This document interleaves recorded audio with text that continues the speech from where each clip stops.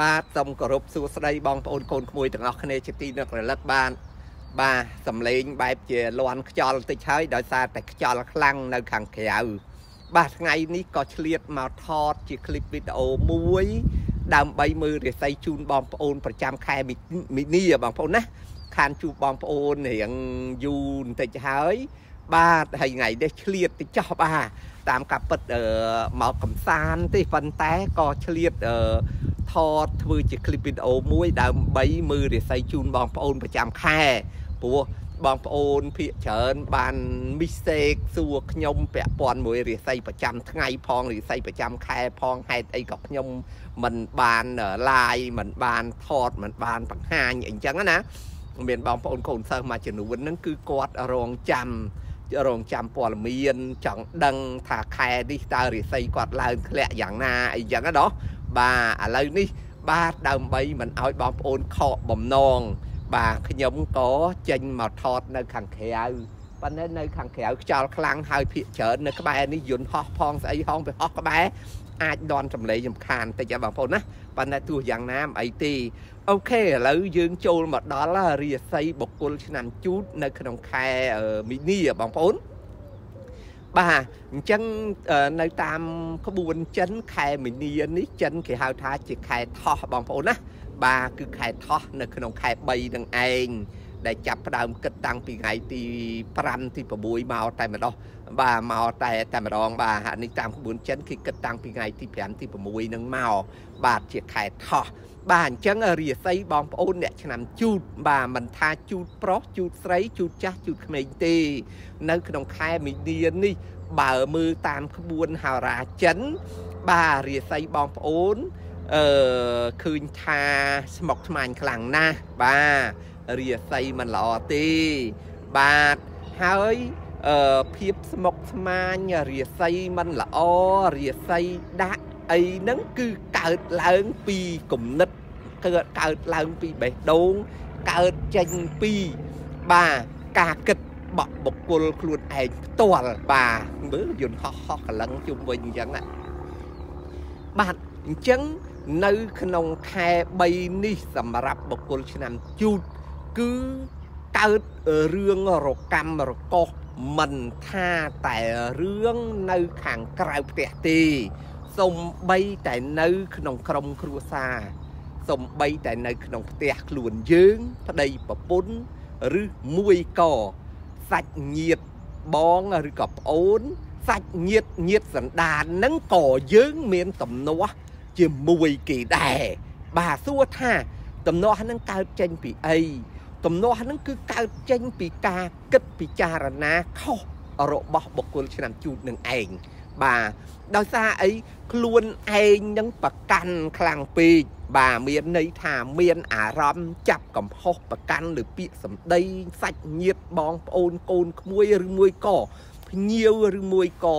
អ្នកចិត្តអ្នកខាងឲ្យតលឺគេនិយាយអីមិនគិតថាគេនឹងគេនិយាយលេងជួនកាលគេនិយាយលេង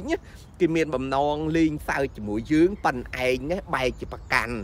បាទជួនកាលគេនិយាយក្នុងគោលបំណងល្អតែខ្លួនឯងសតិខ្លួនឯងគិតឃើញថាគេនិយាយប្រមាថមើងងាយបាទអញ្ចឹងនាំឲ្យចិត្តកង្វល់ខ្វល់ខ្វាយកើតទុកមិនសុខចិត្ត ហើយបំណងឬមួយក៏កង្វល់នៅក្នុងខ្លួនហ្នឹងទៅបញ្ចេញទៅលើសកម្មភាពការរស់នៅ ការរស់ស៊ីការលក់ដូរការធ្វើការគ្រប់បែបយ៉ាងអញ្ចឹងអារម្មណ៍មិនល្អចិត្តមិនល្អចិត្តមិនសบายធ្វើការងារអីក៏បរាជ័យបាទធ្វើការងារអីក៏មិនបានជោគជ័យបាទលក់ដូរក៏អញ្ចឹងដែរលក់ដូរក៏មិនសូវសមប្រកបលក់ដូរក៏មិនសូវដាច់ ប្រាក់ចំណុចហើយប្រាក់ចំណេញក៏ធ្លាក់ចុះបាទអញ្ចឹងបាទគេថាពាក្យចាស់ថាបាទតាមួម៉ៅតាមិនសบายចិត្តលក់ដូររស់ស៊ីអីក៏លក់មិនដាច់ដែរមូលហេតុគឺដោយសារតែសន្តិបញ្ញសន្តិឬក៏ការគិតគេហៅថាសម្បញ្ញញ្ញៈបក់ខ្លួនយើងហ្នឹងណាគឺខ្វល់ខ្វាយឈឺចាប់ខឹង មិនសบายចិត្តអញ្ចឹងនាំឲ្យទៅប្រព្រឹត្តការងារប្រចាំថ្ងៃធ្វើអីក៏មិនល្អដែរនៅក្នុងខែហ្នឹងហើយជាក់ស្ដែងតិចយើងនេះស្ដាប់ការនិយាយស្ដីពីញាតសន្តានឬក៏បងប្អូនជុំវិញឬមួយក៏អឺជាអតិថិជនក៏ដោយការស្ដាប់ពីតិចបក់យើងនឹងមានបញ្ហាហ្មងស្ដាប់គេនិយាយទៅបែរជាគិតថាគេនឹងនិយាយចេះនិយាយចោះមើងងាយឬក៏មិនអោយតម្លៃ បាទអញ្ចឹងតិចយើងមានបញ្ហារហូតជាយើងការការស្ដាប់បញ្ហាអីក៏កើតចេញពីតិចនឹងគិតស្ដាប់គេនិយាយមកបែរជាលឺទៅជារឿងផ្សេងបាទបាទបធម្មតាចាស់បុរាណគេថាសតិមិនល្អស្ដាប់អីក៏ស្ដាប់ទៅទៅជាអាក្រក់ដែរបាទប៉ុន្តែខ្ញុំចង់បញ្ជាក់ថាក្នុងខែនេះវាប៉ះពាល់មួយតិចបាទសំបីតែ មានជំងឺមានរោគក៏ស្ថិតនៅលើតិចនឹងដែរនៅក្នុងខែ3ហ្នឹងអញ្ចឹងបុគ្គលឆ្នាំអឺឆ្នាំជូតណាប្រុងប្រយ័ត្នបានលុះត្រាតែបាទមានន័យថាជៀសវាងកុំឲ្យកើតបញ្ហាលុះត្រាតែកុំប្រកាន់គេនិយាយអាក្រក់យើងស្ដាប់អាក្រក់តែយើងនៅតែញញឹមបាទ គេនិយាយអីមិនសូវព្រោះយើងនៅតែសប្បាយចិត្តបាទធ្វើចិត្តឲ្យតិចទទួលនៅអ្វីគ្រប់បែបយ៉ាងជាផ្លូវល្អទាំងអស់អានឹងកិច្ចផុតពីភាពសួយតែបើយើងចង់អឺកែមិនអឺដូចថាបើសិនជាយើងមិនកែនៅការគិតរបស់យើងទេ ស្ដាប់អីមកពិចារណាទៅក្តៅក្រហាយខ្លួនឯង នឹងសួយគឺចាប់ផ្ដើមតោងយើងជាប់ហើយបាទអញ្ចឹងអឺអត់មានអីពិបាកទេបើវិធីកែគេថាបើកែឆុងអាហ្នឹងមានន័យថាឆុងហើយអញ្ចឹងវិធីកែឆុងគឺសន្តានរបស់យើងហ្នឹងគិតរបស់យើងហ្នឹងចិត្តរបស់យើងហ្នឹងកែខ្លួនយើងទៅបាទកុំប្រកាន់បាទហើយធ្វើចិត្តឲ្យល្អធ្វើចិត្តឲ្យត្រជាក់ឲ្យសុបាយចិត្តអាហ្នឹងអ្វីអ្វីកើតទៅជាល្អវិញបាទរឿងដែលធ្វើចិត្តឲ្យត្រជាក់ធ្វើចិត្តឲ្យល្អ នឹងធ្វើឲ្យក្រុមគ្រួសាររុងរឿងបានណាបងប្អូន បាទអញ្ចឹងបើសិនតាំងចិត្តប៉ុណ្ណឹងមិនបានទេ មានចំនួននៅក្នុងក្រុមគ្រួសារអាចលែងលះគ្នាទៀតផងបាទអញ្ចឹងមានរឿងតូចទេណាគ្រាន់តែការគិតការពិចារណារបស់យើងនាំឲ្យគ្រួសារទាំងមូលបែកបាក់មិនត្រឹមតែខាតលុយខាតខាតខាតអឺចំណូលខាតអឺរឿងល្អចូលមកទេសំបីតែ គ្រួសារប្តីប្រពន្ធអាចឈានទៅរកការបែកបាក់ដោយសារតែការគិតខុសរបស់បុគ្គលឆ្នាំជូតបាទអញ្ចឹងបើសរុបសេចក្តីមកនៅក្នុងខែអឺមីនានេះបុគ្គលឆ្នាំជូតឆុងខ្លាំងបាទបុគ្គលឆ្នាំជូតរិស័យមិនល្អបើសិនជាមិនចេះ control ចិត្តគំនិតយើងកែប្រែអារម្មណ៍របស់យើងឡើងវិញទេ បាទអ្វីដែលទៅហួសហើយត្រឡប់ក្រោយមិនបានទេ បាទវិធីកែឆុងគឺកែដោយវិធីហ្នឹងបាទមិនចាំបាច់ទៅមករកយន់ពីលោកគ្រូអូមកសុំយន់សុំអីចកែដាក់តាមខ្លួនអីទេលក់ដូរមិនដាច់ក៏មកពីចិត្តកំណត់របស់យើងមិនល្អមិនសុបាយចិត្តបាទរស់ស៊ីលក់ដូរមិនចំណេញខាតបង់ហ្នឹងក៏ដោយសារការគិតរបស់យើង បាទដោយសារតែគំនិតដោយសារតែការប្រកាន់របស់យើងបាទ ធ្វើកិច្ចការតូចធំទាំងឡាយបរាជ័យក៏ដោយសារតែកម្ដៅនៅក្នុងបេះដូងយើង បាទគឺក្តៅក្រហាយលើពាក្យសម្ដីគេនិយាយមកវាវាមិនសមនឹងចិត្តយើង បាទអញ្ចឹងតិចយើងមានបញ្ហាហើយក៏គួរតែប្រយ័ត្នប្រយែងពាក់ព័ន្ធមួយតិចនឹងទៀតផងបាទដោយសារតែជំងឺកើតនៅលើតិចនៅក្នុងខែមីនីនឹងឯង បាទអញ្ចឹងបកគលឆ្នាំជូតរាសីសរុបមកវិញគឺមិនល្អទេពាក់ព័ន្ធមួយលុយកាក់ក៏មិនល្អពាក់ព័ន្ធជាមួយនឹងសពន្ធភាពគ្រួសារនឹងក៏មិនល្អបាទអញ្ចឹងបើវិធីកែដោយដោយដោយតាំងចិត្តដោយដោយកុំធ្វើចិត្តមួម៉ៅបាទទោះយ៉ាងម៉េចញញឹមជានិច្ចបាទលក់ដូររស៊ីអីញញឹមញញែមរស់រារាក់តាក់មកអាហ្នឹងបានបានណាបាទអញ្ចឹងសួរថាតើបុគ្គលឆ្នាំជូត អឺអាចសម្ព័ន្ធភាពល្អជាមួយបុគ្គលអីខ្លះណោះបងប្អូន បាទបុគ្គលឆ្នាំជូតបើយើង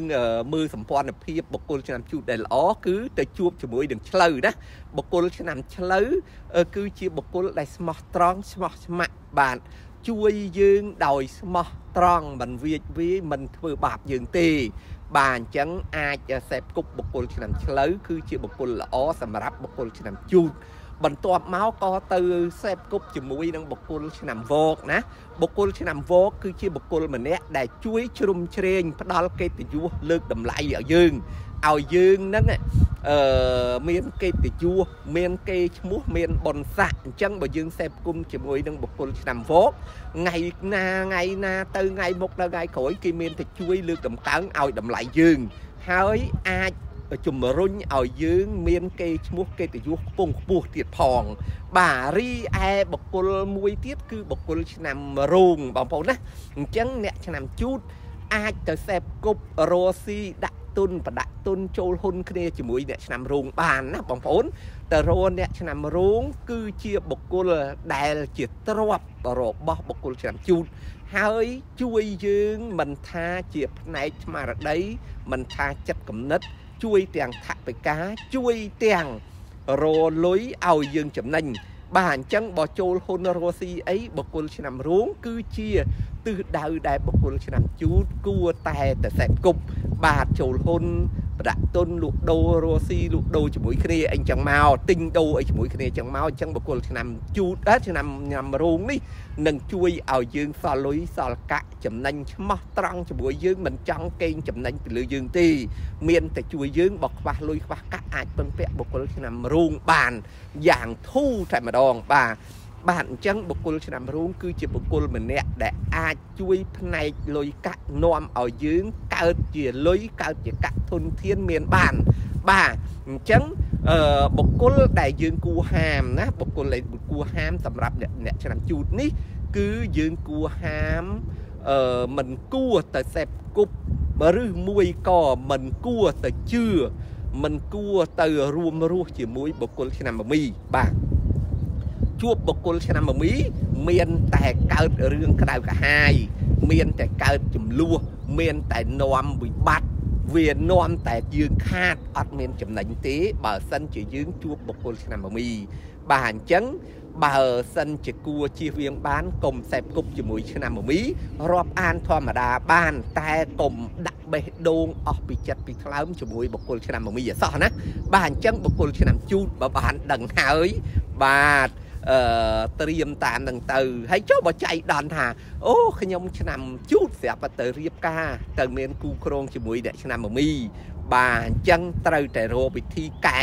បាទត្រូវរកវិធីកែប្រែ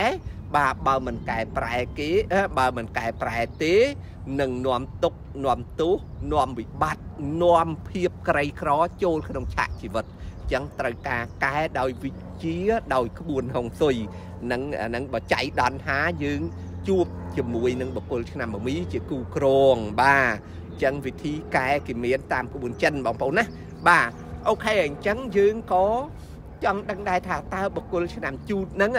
បាទទិសណាដែលសំប្រកបបាទទិសណាដែលសំប្រកបទិសណាដែលល្អសម្រាប់បុគ្គលឆ្នាំជូតបងប្អូនណោះបាទសម្រាប់បុគ្គលឆ្នាំជូតគឺទិសខាងជើង គឺជាទិសមួយ ដែលគេហៅថារឹងមាំគួរឲ្យពឹងពាក់បាទអញ្ចឹងបើសិនជាយើងធ្វើផ្ទះធ្វើសំបែងអីបាទបែរមុខទៅទិសខាងជើងក្តីឬក៏បែរ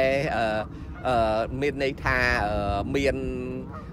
ខ្នងផ្ទះខាងក្រោយផ្ទះបែរទៅទិសជើងអីគឺជាទិសដែលរឹងមាំជួយឧបត្ថម្ភថ្ងៃក្រោយពឹងពាក់អ្នកធំអ្នកតូចអីបានបាទ ចឹងបើផ្ទះសំបែងយើងបែរខ្នងទៅទិសខាងជើង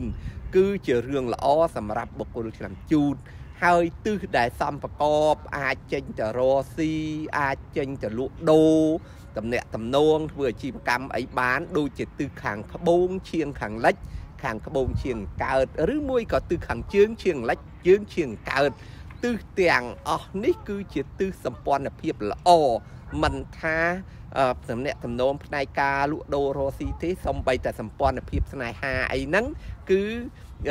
លៃទៅរទិសអស់ហ្នឹងទៅ បាទគឺជាទិសដែលល្អដូចមានទិសខាងជើងឈៀងខាងខាងកើត គឺជាទិសដែលសម្ព័ន្ធភាពស្នេហាល្អសម្រាប់បុគ្គលឆ្នាំជូតណាហើយបើទិសខាងជើងឈៀងខាងលិច គឺតំណាក់តំណងការរស់ស៊ីលក់ដូរអីក៏ល្អទិសខាងក្បូងឈៀងលិចក្បូងឈៀងកើតបាទអញ្ចឹងបើសិនជាចៃដន្យយើងទៅទិញតូបបើកហាងរកស៊ីអីទៅទិសខាងហ្នឹងឬមួយក៏យើងចង់ទៅធ្វើមុខចំនួនចេញទៅតាមទិសដៅតាមខេត្តទៅកន្លែង អឺឆ្ងាយឆ្ងាយពីគេឋានរបស់យើងយើងទៅរត់ទិសខាងហ្នឹងគឺសំប្រកបបាទគឺជោគជ័យបាទរស់ស៊ីឆាប់មានបានអីចឹងឡើងនេះតាមក្បួនអឺចិននេះมันមានអឺជំរាបជូនបងប្អូន ត្រឹមតែរាសីប្រចាំខែប្រាប់តាំងពីក្បួនហុងស៊ុយជូនបងប្អូនអ្នកឆ្នាំជូទៀតអញ្ចឹងនៅក្នុងคลิปវីដេអូនេះគឺជាคลิปមួយសំខាន់ សម្រាប់ការមើលរិស័យប្រចាំខែជូនបងប្អូននៅក្នុងខែមីនា បាទឆ្នាំ2023សំខាន់ណាព្រោះមានប្រាប់អំពីវិធីអឺពីទិសបាទពីសម្ព័ន្ធភាពអឺសហសហការរួមអឺសហការជាមួយគ្នាមួយឆ្នាំអីឆ្នាំអីទៀតផង